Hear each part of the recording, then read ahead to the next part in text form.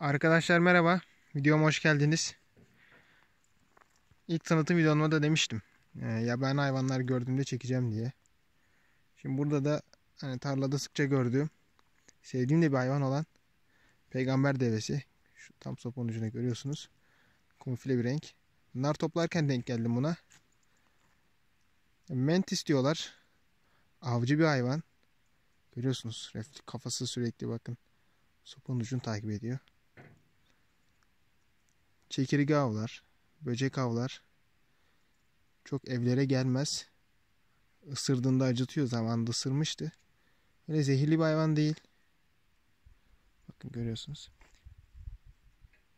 Bu hayvanın hareketlerini çok seviyorum. Yani sanki zekiymiş gibi, düşünüyormuş gibi bakışları görüyorsunuz. Çok naif bir hayvan. Çok naif bir avcı. Videoyu çok uzun tutmak istemiyorum. Mentis diyorlar. Bunların yeşil olanları oluyor. Kırmızıları oluyor. Böyle koyu turuncu gibi. Kahverengi olanları oluyor. Biraz ufak. Daha büyüklerine denk geldim. Dişidir diye tahmin ediyorum. Çünkü çok kanatları uzun değil ama kesin bir bilgi vermek istemem. Şöyle göstereyim. Çok güzel şu an şov yapıyor bize. Evet. Maşallah.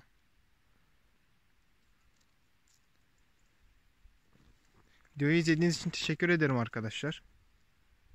Kanalıma abone olup videoyu beğenmeyi unutmayın. Şahsen çok sevinirim. Aşağı açıklama kısmına Instagram adresimizin linkini bırakacağım. Orada bu hayvanların fotoğraflarını da paylaşıyorum. Daha önce çektiğim ya ben hayvanların videosu olmayan ya ben hayvanların da fotoğrafını paylaşıyorum. Oradan da hani çiftlikteki hayvanları, yaban hayvanları takip edebilirsiniz. Kendinize iyi bakın. Bir sonraki videoda görüşmek üzere. Hoşçakalın.